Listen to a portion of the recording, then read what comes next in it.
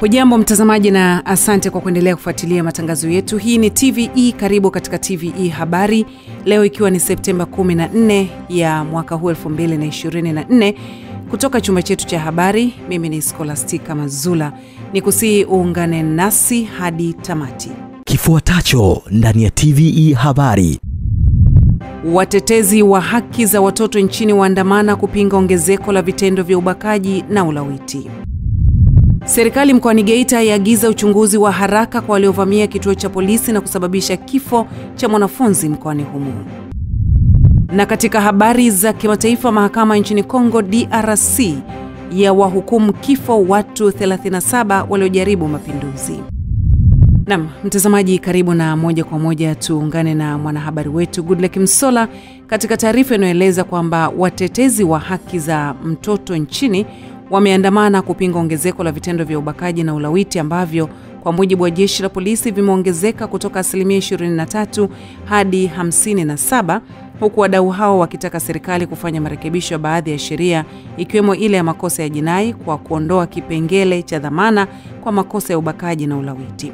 Tupate undani wa taarifa hiyo. Wadau hao kutoka mashirika na taasisi mbalimbali za kutetea haki za mtoto hapa nchini wamefanya maandamano hayo ya amani leo jijini Dar es Salaam, ambapo wakisoma tamko kwa niaba ya wenzao Chike Mwambipili pamoja na Janet Mawinza wamesema mtandao huo unapendekeza sheria ya makosa ya jinai iangaliwe upya ili kuondoa kipengele cha dhamana kwa makosa hayo, huku akitaka pia adhabu kuweza kuongezwa. Tungependa kutoa ujumbe mahususi kwa kundi la wanaume. Matukio yanayoendelea hayatoi taswira nzuri kuhusu kundi lenu wanaume.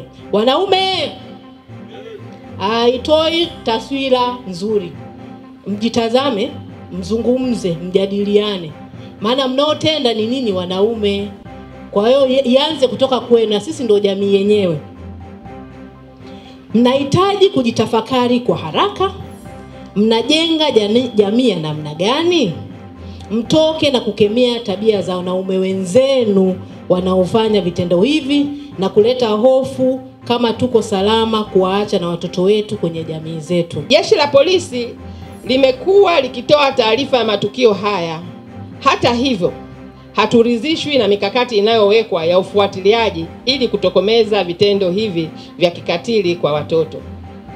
Kwa hali kwa hali ilivyo sasa, tunatarajia kwamba jeshi la polisi litafuatilia kwa umakini zaidi kujua chanzo cha haya matukio na wahusika kukamatwa na kuchukuliwa hatua stahiki. Kwa upande wake, Rebeka Jumi pamoja na baadhi ya wadau wengine walioshiriki katika maandamano hayo wamesema hali ya matukio hayo ya ubakaji na ulawiti imewafanya watoto na wazazi kutojiamini kutokana na kuongezeka kutoka kesi 1205 kwa mwaka 2020 hadi kesi 2488 kwa mwaka 2023. Viongozi wetu na e, mifumo yetu ya utoaji haki kwa watoto, nipende kuamini haya mnasikiliza, na yale tuliyoyatoa kama rai mtaenda kuyafanyia kazi ili Tanzania ya watoto iwe salama, kwa sababu tunajua kabisa watoto wana haki ya kuishi salama kwenye nchi yao, kwenye jamii yao. Nao baadhi ya watoto walioshiriki katika maandamano hayo ya amani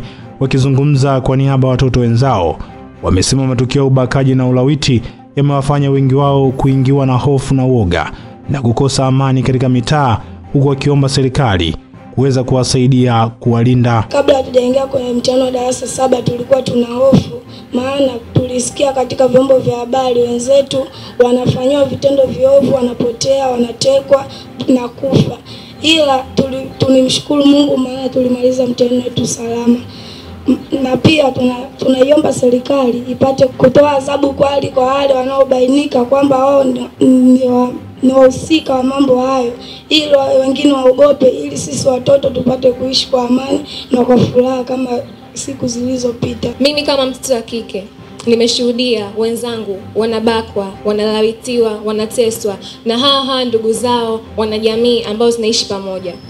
Amani imezidi kudhoroteka sasa hivi kwenye jamii, mpaka sasa hivi watu wenyewe hatuaminiani, na serikali japokuwa imejaribu kufanya kutokomeza ukatili kwa pande mkubwa, bado hichi kitendo kinaendelea katika jamii yetu. Kwa hiyo kwa upande wangu ninashauri serikali ya rais wetu Dr. Samia Ma- Mama Samia Suluhu Hassan, ninaamini kwamba ili kurudisha amani iliyokuwepo awali inabidi serikali itunga sheria itunge sheria ambazo zitafuatwa na wanajamii ili kuzuia hivi vitendo kuongezeka na kurudisha ile amani iliyokuwepo awali. Aidha, mtandao huo umeeleza kuwa matukio ya ubakaji kwa mwaka huu yameongezeka kutoka matukio 6827 kwa mwaka 2020 hadi matukio 8691 kwa mwaka 2023 huku matukio hayo yakiathiri zaidi watoto pamoja na wanawake. Nyuma yangu ni baadhi ya taasisi za watetezi wa watoto wakiwa wamehitimisha maandamano yao ya amani wakishinikiza serikali kuchukua hatua dhidi ya vitendo vya ukatili dhidi ya watoto. Kutoka hapa Readers jijini Dar es Salaam, Goodluck Msola, TVE Habari. Asante sana Goodluck Msola. Mkuu wa mkoa wa Geita Martin Shigela ameagiza kufanyika kwa uchunguzi wa kina na ufuatiliaji ili kubaini wale wote waliohusika katika vurugu za wananchi kuvamia kituo cha polisi katika kata ya Lulembela wilayani Mbogwe ili sheria ichukue mkondo wake. Tuungane na Joel Maduka kutoka mkoani Geita. Agizo hilo limetolewa wakati wa ibada ya mazishi ya Telezia John, mwanafunzi wa kidato cha nne katika shule ya sekondari ya Lulembera aliyeuawa kwa kupigwa risasi katika vurugu hizo. Wananchi zaidi ya 800 walivamia kituo cha polisi cha Lulembera kilichopo kijiji na kata ya Lulembera. Mkuu huyo wa mkoa ameagiza kufanyika kwa uchunguzi wa haraka ili kuwabaini wote waliohusika katika vurugu hizo na hatua za kisheria ziweze kuchukuliwa dhidi yao. Yako mambo ya kuchezea, lakini kitendo tulichokifanya kiwe cha kwanza na cha mwisho. Dada yetu ametangulia mbele za haki, hakustahili, hakustahili, hakuwa kwenye maandamano wala hakuwa kwenye fujo. Ni kwa sababu ya watu tu na akili zao wanazozijua, kwa malengo wanayoyajua, kwa mipango anayoijua. Nina uhakika wanaulembela mnawajua, maana hawatoki mbinguni. Mnawajua wote ambao walihusika na vitendo hivi. Naye mkuu wa wilaya ya Mbogwe Sakina Mohamed amewataka wananchi kuwa watulivu katika kipindi hiki na kujiepusha na vitendo vya uvunjifu wa amani, huku diwani wa kata hiyo akiomba kurejeshwa kwa kituo cha polisi kutokana na eneo hilo kutokuwa na utulivu. kuhakikisha tunamstiri mtoto wetu baada ya tukio kubwa na baya na alitakiwi kwa kweli, sio la umoja. Tukisikia amani, hili tatizo lililofanyika hapa Lulembela halina afya hata kidogo. Kwa hiyo nishukuru sana familia. sana kwa huruma baba. Wewe ni kiongozi wetu, mkuu wa wilaya ni kiongozi wetu. Kwa kweli watu hao wamehudhuria kutoka Lulembela na vijiji vingine na hapa Kashelo, hawana hatia. Wako watu wenye kubeba taharuki, wanajifanya wajuaji, hawajawahi kuzika mtu aliyetolewa figo, lakini wanaandaa mazingira ya kutengeneza taharuki, taharuki, watu wanauana. Jamani, maskini wa Mungu, mkuu wa mkoa, tunakupenda tunaomba kituo hiki kirudi. Usalama wetu uto, uko hatiani, ni ngumu. Tukuombe mkuu wa mkoa, una vyanzo vingi. Tunacho kituo tulichojenga kiko peupe kabisa, hakuna mwingiliano wa watu. Kikikamilishwa tunaweza tukaishi vizuri sana. Nao baadhi ya wananchi ambao wamesoma na mwanafunzi huyo wameelezea masikitiko yao kutokana na tukio ambalo limetokea. Basi ya Ijumaa tumeona ni vyema kuja kumwaga, na kwa sababu tulikuwa tunampenda, tuliishi naye kwa furaha, na wanafunzi wengi kwa kweli tumehuzunishwa sana na msiba huu, na basi kwa sababu ni mapenzi ya Bwana, basi Bwana ametoa na Bwana ametoa, haina haja ya kulaumu jina la Bwana, basi jina lake litukuzwe. aliyekuwa anatarajia kufanya mtihani mwezi wa kumi, mwezi wa kumi na moja na pia tukio hili limesikitisha sana watu wengi sana hadi wa serikalini pia ni masikitiko makubwa sana kwa wanafunzi wenzetu, hata kidato chenyewe yani kinasikitika. Mtazamaji, hatimaye mwili wa Teresia umezikwa katika kijiji hiki na kata ya Lulembela kufuatia tukio ambalo wananchi walivamia kituo na kusababisha vifo hivi vya watu wawili. Kutoka hapa mkoani Geita, mimi ni Joel Maduka wa TVE. Ni taarifa ya mwanahabari wetu Joel Maduka. Kwingineko, mtazamaji, wahamiaji haramu raia wa Ethiopia 14 wamekamatwa wakiwa mafichoni katika milima ya Kifimbo, kijiji cha Kilototoni, kata ya Njia Panda, wilaya ya Moshi, mkoani Kilimanjaro, wakiwa wanajiandaa kusafiri kuelekea nchini Afrika Kusini. Mwanahabari wetu Finalimo kutoka mkoani Kilimanjaro ana taarifa zaidi. Zungumza na waandishi wa habari mjini Moshi, kamishna msaidizi mwandamizi wa uhamiaji mkoani Kilimanjaro Agustino Mateo amesema wahamiaji hao waliingia nchini kwa kutumia njia za panya na kwamba walikuwa wamejificha kwenye makorongo yaliyoko kijiji cha Kilototoni. Hata raia kumi na nne wa Ethiopia ambao walikuwa wamejificha katika kilima kinaitwa Kifimbo huko Kilototoni. Hao raia baada ya ku tunaendelea kufanya mahojiano nao, lakini wanaonekana ni raia wa Ethiopia na walikuwa wamejificha kwenye makorongo. Ina maana kulikuwa na watu walikuwa wanawasafirisha. Kwa hiyo sasa waliofika kwenye makorongo kwa huo muda wakawaweka ili kweli, na sisi kwenye mambo yetu ya kitelijensia tukaenda pale kuanza kuwasaka kwenye mlima mpaka makorongo, tukakuta kwenye makorongo ni kweli walikwepo, na hayo makorongo yanatumika mara kwa mara kwa sababu tumekuta vitu mbalimbali kama wana, wananyoa nywele kule kule, wana mikate inaliwa kule ma, ma, malapa unakuta yako kule. Pakaeleza mikakati ya uhamiaji kuhakikisha wanakomesha uhamiaji haramu na hatua wanazochukua ikiwa ni pamoja na kutoa elimu kwa jamii ya kutambua wahamiaji hao. La kwanza nianze kusema wananchi wanatupa ushirikiano mkubwa sana. Hata hii taarifa ya leo ambayo tunazungumza, huwezi kujua namna gani ambao tuna wafiche wetu wametupa taarifa ambayo tukawa tukaenda kuwakamata. Ni kwamba sasa hivi idara ina ina, ina philosophy yake kwamba mjue jirani yako. Hiyo tuna tunafanya hivyo kwa kupitia wa maafisa wahamiaji wa kata. Tunao maafisa wahamiaji wa kata.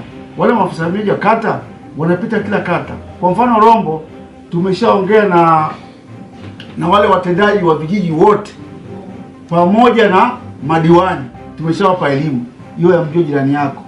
Hiyo elimu inatusaidia kwa sababu ukishamjua jirani yako utajua huyu sio sio mwenzako au ni mwenzako, na unaweza ukamripoti kwenye mamlaka zinazohusika.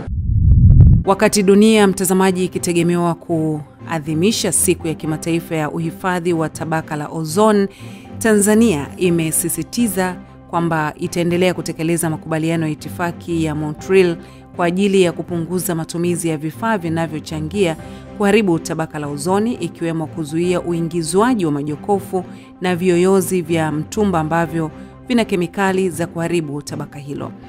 Taarifa zaidi tuungane na Grant Cosmas ambaye anaisoma taarifa hiyo hapa studio. Akizungumza leo jijini Dar es Salaam na waandishi wa habari, waziri wa nchi ofisi ya makamu wa rais muungano na mazingira, Dr. Ashatu Kijaji, kuelekea siku ya kimataifa ya maadhimisho ya tabaka la ozoni ambayo huadhimishwa kila ifikapo tarehe 16 ya mwezi Septemba, amesema licha ya kutekeleza makubaliano, pia Tanzania imejipanga kutoa elimu kwa mafundi majokofu na viyoyozi ili kutambua namna ya kutengeneza vifaa hivyo bila kuruhusu gesi kwenda hewani na hivyo kuharibu tabaka la ozoni. Ndugu wanahabari, katika kuadhimisha siku ya hifadhi ya tabaka la ozoni kwa mwaka huu 2024, serikali yetu kupitia ofisi ya makamu wa rais imepanga kutoa elimu kwa wadau mbalimbali, ambapo shughuli zifuatazo zimepangwa kufanyika. Moja, kuendelea kutoa elimu kwa umma kupitia nakala mjongeo kuhusu umuhimu wa kulinda tabaka la ozoni na kuendelea kuhimiza jamii kupunguza shughuli mbalimbali za kibinadamu ambazo zinasababisha mabadiliko ya tabia nchi. Na mbili, tutatoa elimu kwa mafundi wa viyoyozi na majokofu katika jiji la Dodoma kuhusu namna bora ya kukarabati vifaa hivyo pasipo kuachia angani kemikali nilizozitaja na hivyo kuharibu mazingira yetu. Aidha, Dr. Kijaji amesema Watanzania wanatakiwa kuacha kuagiza vifaa vya kielektroniki vyenye kemikali za kuharibu tabaka la ozoni, hasa ambavyo havina nembo ya ozoni free, ili kulinda tabaka hilo na hivyo kuepuka athari zake zikiwemo ongezeko la joto na magonjwa ya saratani. Kwa upande wake mkurugenzi wa mazingira kutoka ofisi ya makamu wa rais mazingira Kemilembe Mtaswa amesema kwa sasa Tanzania inasimamia utekelezaji wa kanuni za uzuiaji majokofu na viyoyozi vya mitumba ambavyo vina kemikali za kuharibu tabaka la ozoni. Kwa tabaka la ozoni, hiyo kanuni ipo. Niseme tu kwamba e, mkataba wa Montreal, sisi kama nchi wanachama wa mkataba huu tuliuridhia mwaka 1996 na tangu kipindi hiko kulingana na matakwa ya mkataba tumekuwa tukipunguza kidogo kidogo. Kwa hiyo kuna baadhi ya kemikali ambazo usitishwaji wake ulifika mwaka 2010. Kwa hiyo vifaa hivyo ndio tunavyovizungumzia kwamba tangu 2010 vilishasitishwa na kanuni ipo ya mwaka 2017 ya kwanza, lakini nyingine tulifanyia marekebisho mwaka 2022.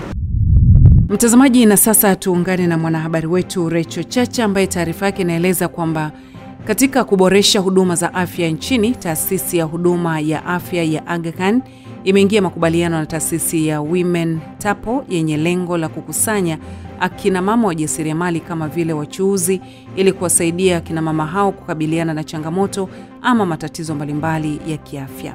Tupate undani wa taarifa hiyo kutoka Dar es Salaam. Akizungumza jijini Dar es Salaam leo mara baada ya kusaini makubaliano hayo, mganga mkuu wa mkoa wa Dar es Salaam Dr. Mohamed Manguna amesema hatua hiyo itawasaidia akina mama kupata huduma za afya hususan uchunguzi wa awali wa magonjwa mbalimbali, huku akiahidi kuwa serikali kwa kushirikiana na hospitali ya Aga Khan pamoja na wadau wengine itaendelea kutoa huduma bora za afya kwa wanawake wote nchini. Kwa upande wake, kaimu mkurugenzi mkuu kutoka taasisi ya huduma ya afya Aga Khan Karim Dharan amesema taasisi imedhamiria kutoa huduma bora kwa Watanzania hususan wanawake kutokana na kundi hilo kuwa na umuhimu mkubwa kwenye jamii. Mama ndio kila kitu.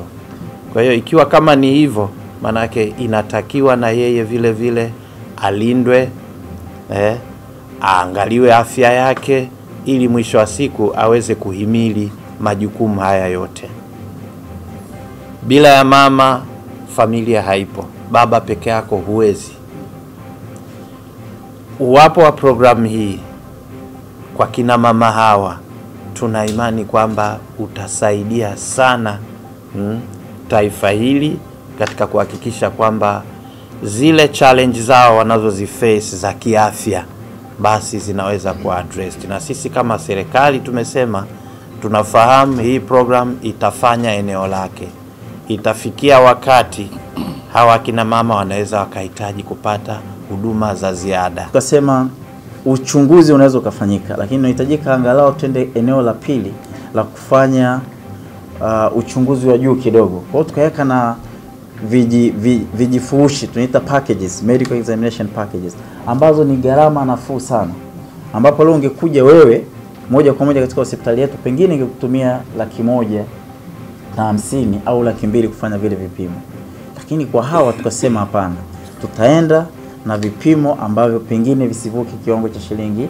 arobaini elfu kuweza tu kumpata daktari kufanya vipimo vya, vya maabara, na baada ya kufanya vile vipimo pia unaweza ukapata na dawa za siku tano mpaka saba. Na hii tulishirikiana na mwenzangu Dr. Abdul Usmani ambaye ni ameshiriki kutengeneza programu eneo la matibabu ambayo linakwenda kusaidia kina mama. Naye mkurugenzi mtendaji wa taasisi ya Women Tapo Lulu Yasin amesema wameamua kuja na programu hiyo ya kuwatembelea kina mama sokoni na wachuuzi, kwani wanashindwa kupata muda rafiki wa kuchunguza afya zao, huku akibainisha kuwa katika programu hiyo pia elimu ya lishe itatolewa ikilenga kuimarisha afya za kina mama hao. Mama zetu tunaamini ya kwamba hawapatagi muda kabisa wa kwenda kuangalia afya yao, na bila afya huwezi kufanya kazi. Kwa hiyo kwa ku summarize Aga Khan imetupa kitu kizuri ambacho kitatusaidia kama wamama masokoni kujua afya zetu kabla ya kuanguka kwenye gonjwa kubwa zaidi. Asante Rachel na taarifa hiyo. Kamati ya kudumu ya Bunge ya maji na mazingira imehimiza mamlaka ya maji safi na usafi wa mazingira Dar es Salaam DAWASA kuongeza kasi ya ukusanyaji wa maji taka, kwani kwa sasa mkoani Dar es Salaam unazalisha cubic laki nne na elfu ishirini na saba za maji taka. Nasi Ibrahim anaeleza zaidi. Hayo amesemwa na mwenyekiti wa kamati hiyo Jackson Gideon wakati Katami alipotembelea mitambo miwili ya kuchakata maji taka, mmoja uliopo Kigamboni na mwingine Mbezi Beach, pamoja na mfumo wa usambazaji wa maji taka uliopo eneo la Mbezi Beach. Amesema uwezo wa ukusanyaji maji taka wa mamlaka hiyo haufiki asilimia hamsini, hivyo ameiomba kuongeza kasi ili kukabiliana na uchafuzi wa mazingira, huku akibainisha kuwa kukamilika kwa mitambo hiyo ya kuchakata maji taka kutasaidia kupunguza tatizo la maji taka katika jiji la Dar es Salaam. Kuja hapa Dar es Salaam tumeanza Kigamboni. Kwanza tumeanza kuona mipango walionayo ni mipango mizuri, kwamba Dar es Salaam tunazalisha uchafu wa cubic mita laki nne na ishirini na saba eh, ambapo eh, sasa hivi uwezo wao wa kukusanya uchafu haufiki asilimia hamsini.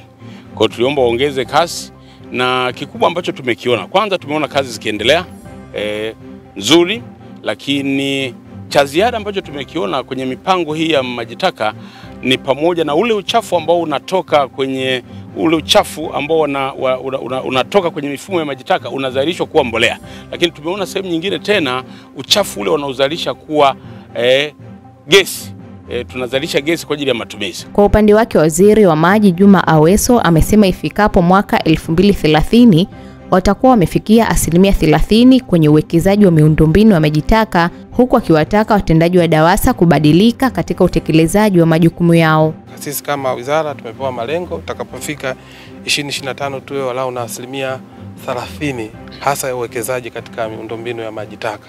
Kwa hiyo hizi ni jitihada kubwa ambazo zinazofanywa na Mheshimiwa Rais Daktari Samia Suluhu Hassan, si kwa Dar es Salaam na hata katika majiji mengine. Ukenda Arusha tuna uwekezaji mkubwa hasa katika eneo hili la, la maji taka na maeneo mengine yote, si mjini na si vijijini, kwa sababu hao ni maelekezo ambayo tumepewa.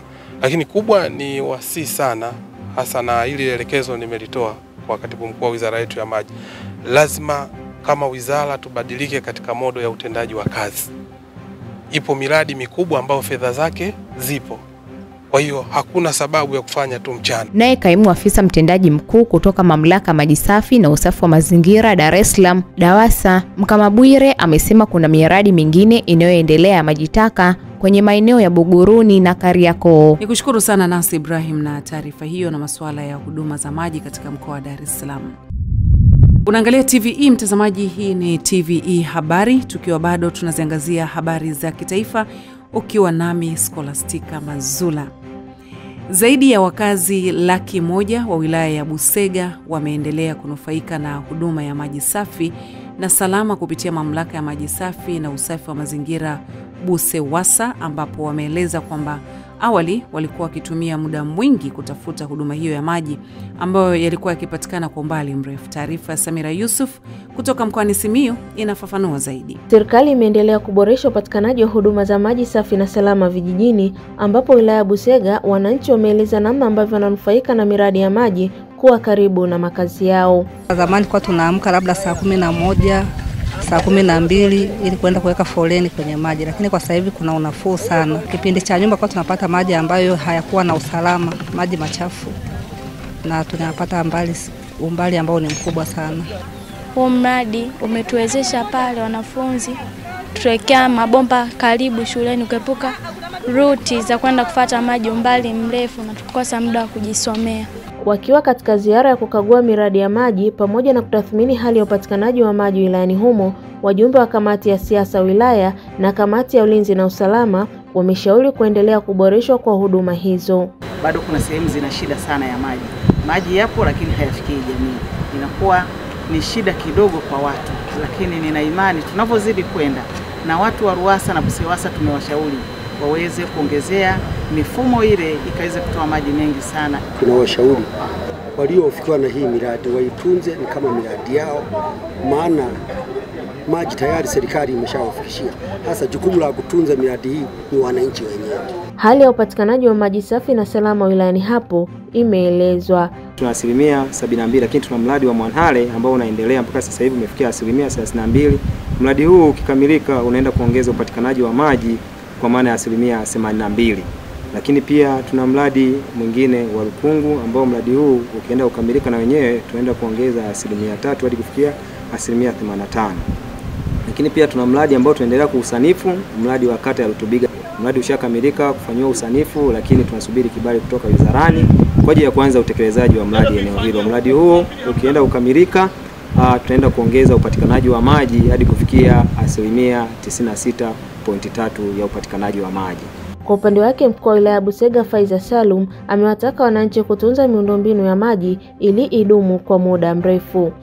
Niombe tu wananchi wa uh, wilaya yetu ya Busega kuendelea kutunza miundombinu ya maji. Zipo changamoto baadhi ya maeneo kwamba tunafunga mabomba, tunaweka miundombinu watu wasiokuwa na nia njema wanaenda kuharibu miundombinu hiyo. Kwa hiyo tutachukua hatua kali za kisheria pale mtu atakubainika kuwa anaharibu miundombinu ya maji, kwa sababu anapoharibu, ina maana serikali inaingia gharama, lakini pia wananchi wanapata adha ya kutopata maji kwa muda ambao miundombinu ile itakuwa imeharibika. Ni ziara ya kamati ya ulinzi na usalama wilaya ya Busega pamoja na kamati ya siasa wilaya hii, lengo likiwa ni kukagua miradi ya maji iliyo chini ya mamlaka ya maji na usafi wa mazingira wilaya ya Busega, BUSIWASA. Samira Yusuf, TVE. Asante sana Samira Yusuf na taarifa hiyo. Naibu Spika wa Bunge la Jamhuri ya Muungano wa Tanzania Musa Azan Zungu amewataka wafanyabiashara wa samaki katika soko la kimataifa la Feri kutokuwa kikwazo cha ujenzi wa mradi wa tanki la kuhifadhia gesi litakalojengwa katika eneo hilo ili kuwasaidia kupata gesi kwa urahisi. Tuungane na Goodluck Msola ambaye ameandaa taarifa hii. Zungu ametoa kauli hiyo leo alipotembelea soko la Feri jijini Dar es Salaam kuangalia eneo la ujenzi wa mradi wa tanki kubwa la kuhifadhi na kupokea gesi litakalojengwa na kampuni ya gesi ya Orex kufuatia maombi ya wafanyabiashara wa soko la Feri waliotaka kujengewa tanki hilo ili kurahisisha kuhifadhi pamoja na upatikanaji wa gesi. Unga mkono jitihada za Mheshimiwa Rais katika kutunza mazingira yetu. Moshi wa kuni na moshi wa mkaa wana unaharibu mazingira ya nchi yetu. Kwa hiyo tunaungana na Mheshimiwa Rais pamoja na wadau wetu.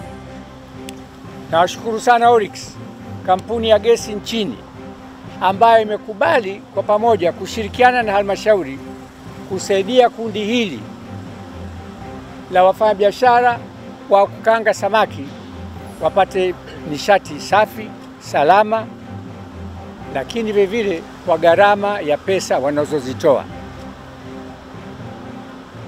Kwa hiyo ni madhumuni ya kuwaita hapa leo kuja kuambia hatua tulizofikia za kisheria zimekamilika kwa asilimia tisini, asilimia tisini.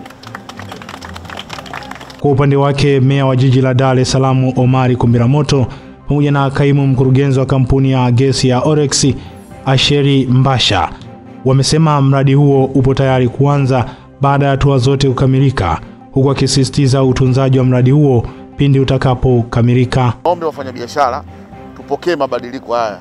Najua mabadiliko yana changamoto, lakini natumaini mtakuwa mtazoea muda sio mrefu. Lakini wapongeze sana uh, ndugu zetu wa Orex. Mtu anakuja kuleta msaada wa zaidi ya milioni mia tatu, lakini kwa mara ya kwanza wao ndio wakawa wanahangaika na dokumenti kuzileta ili tuzisaini. Nimshukuru sana mkurugenzi wa, wa jiji ndugu yangu Eli Huruma, na kama siku tatu nne tumeweza kusaini mkataba huo wenye zaidi ya milioni mia tatu na kwa ajili ya kuanza kazi. Kama Oryx tuko tayari kuendelea kushirikiana na serikali, na kipekee nimshukuru sana mheshimiwa mbunge.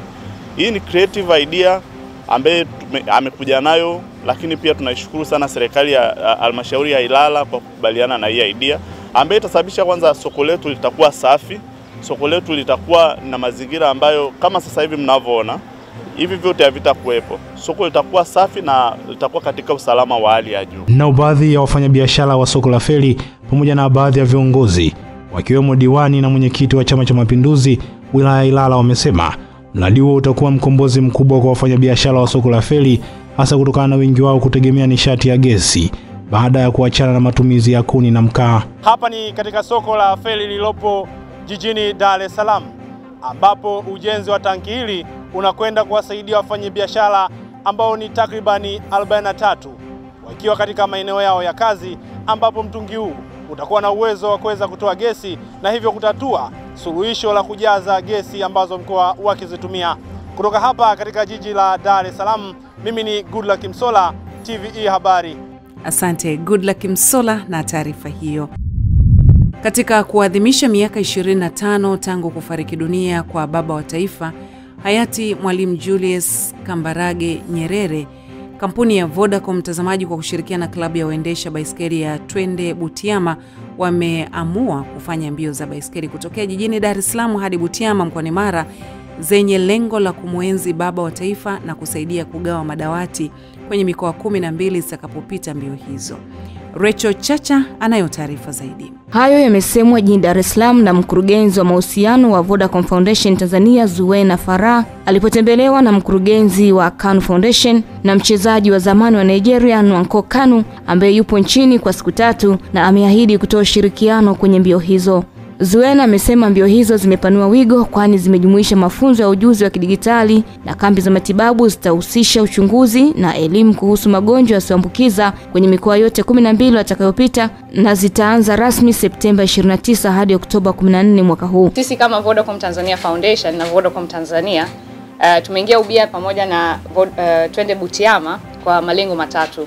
Ya kwanza ni um, education ambayo elimu, kuboresha elimu, kuboresha mazingira ya shule ili kuhamasisha wanafunzi zaidi kupata elimu bora.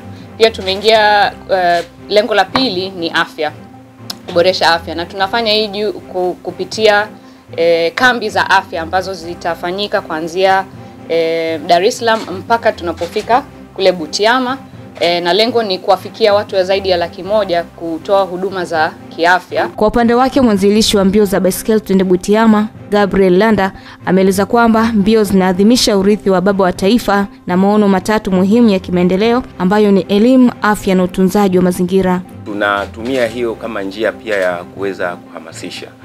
Aa, ni mwaka wa sita sasa tangu tulipoanza elfu mbili na tumekuwa tukifanya e, hii misafara kwa malengo, tunaendesha kwa malengo ya kuenzi falsafa ya baba wa taifa ambayo ni kwenye swala zima la maendeleo.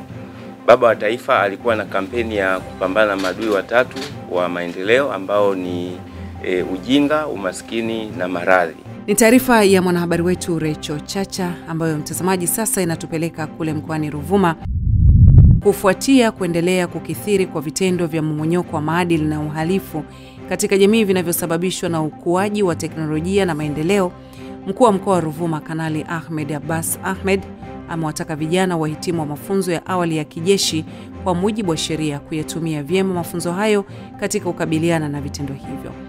Taarifa zaidi tunaungana na Innocent Oromo kutoka mkoani Ruvuma. Kanali Ahmed ametoa wito huu katika hafla ya kufunga mafunzo ya awali ya kijeshi kwa vijana kwa mujibu wa sheria operesheni miaka 60 ya Muungano yaliyofanyika katika kikosi cha jeshi 842 JKT Mlale kilichopo halmashauri ya wilaya ya Songea mkoani Ruvuma, ambapo Kanali Ahmed amewataka vijana wahitimu wa mafunzo hayo kuwa wazalendo na kujiepusha na matumizi mabaya ya mitandao yatakayopelekea mmomonyoko wa maadili na uharifu katika jamii. Kutokana na ukuaji wa maendeleo ya teknolojia na utandawazi kwa vijana mnaohitimu leo pamoja na hadhira hii, napenda pia kutumia fursa hii kuwaasa na kuwakumbusha juu ya matumizi bora ya mitandao ya kijamii, msije mkajikuta mnaingia kwenye matatizo kwa sababu serikali yenu nayo imejizatiti kuhakikisha inadhibiti uhalifu wowote unaofanyika kupitia mitandao. Vijana nyinyi mmejifunza mengi, ikiwepo uzalendo, utii, ukakamavu pamoja na mafunzo ya kijeshi katika dhana nzima ya ulinzi na usalama wa taifa letu. Nitoe rai mafunzo hayo mkayatumie vizuri ili kutimiza lengo la taifa la kuwaandaa kuwa jeshi la akiba na kamwe mtu yoyote asije akawalagai akajiunga na vikundi mbalimbali vya kihalifu, kwani mtakuwa ni wasaliti wa taifa letu lililotumia gharama kubwa kuwaandaa. Kwa upande wake mwakilishi wa mkuu wa jeshi la kujenga taifa Kanali George Kauzura amewataka wahitimu hao kujilinda na vitendo vitakavyohatarisha ustawi wa afya zao. Napenda kuwakumbusha pia mtambue kuwa ninyi ni nguzo muhimu sana katika taifa letu. Ndiyo maana serikali inatumia gharama kubwa kuandaa hadi hatua mliofikia. Pamoja na mafunzo mlioyapata, pia mzingatie utunzaji wa afya zenu, kwani afya ndiyo msingi na mtaji mkubwa kwenu. Mjiepushe na vitendo vya uvunjifu wa amani, ulevi, utumiaji wa madawa ya kulevya, ulaji wa vyakula au utumiaji wa vinywaji vya kuhatarisha afya zenu. Ni vyema kila mmoja akajiuliza atalifanyia nini taifa kabla ya kuuliza taifa linamfanyia nini. Awali akiwasilisha ripoti kwa mgeni rasmi, mkuu wa kikosi cha jeshi 842 JKT Mlale, Luteni Kanali Godwin Mapunda amesema wahitimu wa mafunzo ya awali ya kijeshi kwa mujibu wa sheria operesheni miaka 60 ya Muungano wamepata mafunzo mbalimbali yaliyowajenga kuwa na nidhamu, wazalendo, kujiamini na utimamu wa mwili. Vijana hawa wamefundishwa masomo mbalimbali ya ukakamavu, ujasiriamali ambayo wamejengea nidhamu, uzalendo, kujamini pamoja na utimamu wa mwili. Katika kipindi chote cha mafunzo tumepata kulelewa katika malezi bora yenye misingi ya kijeshi ambayo yametujengea ushirikiano mkubwa miongoni mwetu. Hatuna ukabila, udini wala ukanda. Innocent Horomo, TVE Ruvuma. Asante sana Innocent Oromo na taarifa hiyo. Mtazamaji, inahitimisha TVE habari za kitaifa. Hii ni TVE habari na punde tutakuletea habari za kimataifa. Bado uko nami Scholastica Mazula, ni kusii usiondoke, baki nasi.